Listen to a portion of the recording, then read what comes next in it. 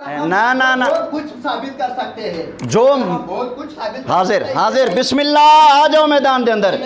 साढ़े ते सवाल है सवाल करो इंशाल्लाह नकदी जवाब दे के उठांगा। मेरा सवाल है तोड़ी उस किताब ते जेड़ी किताब तुसी आपदे हत्थ लिख दे कोई ना बोले। रोला पाने कट्टा खोले अच्छा मौलवी साहब आपका जो मदरसा है दारुल देवबंद का इंडिया में।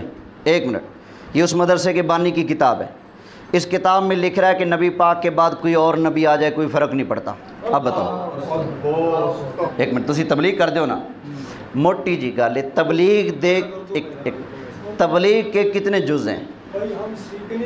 मैं सिखा रहा हूँ। चलो मैं सिखाता हूँ। तबलीग के कितने जुज़ हैं, पता है किसी को?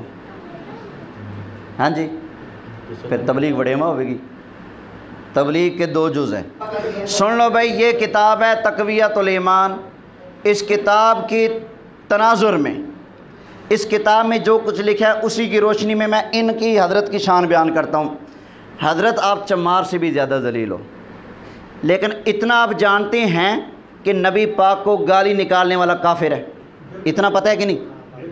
नबी पाक को जलील कहने वाला काफिर है। इतना पता है कि नहीं? एक मिनट। ठीक हो गया। कोई नहीं। आप ये कहें जो नबी को जलील लिखे वो काफिर है ये कहें। काफिर है ना? एक मिनट एक मिनट बस। एक मिनट बस। भाई रोला मुकन लगे तुम कागज़ से मैं लिख दो तकवियत ईमान में जो नबी पाक को जलील लिखा गया है ये कुफर है किताब लिखने वाला काफिर है इसको मानने वाला भी काफिर है। लिख के दे दो। आप सुबह हमारे साथ चले जाए उधर अफगानी मस्जिद।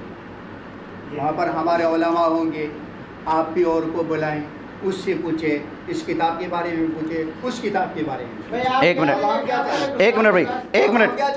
फकीर तोड़े मुनादरे की दावत कबूल कर दें। मैं नहीं भजदा लेकिन मैं बेउसूला नहीं। मुझे आप लिख कर दें अपने साइन करके कि आप आएँगे, इस किताब पर सवाल करेंगे, हम जवाब देंगे, लिख कर दें।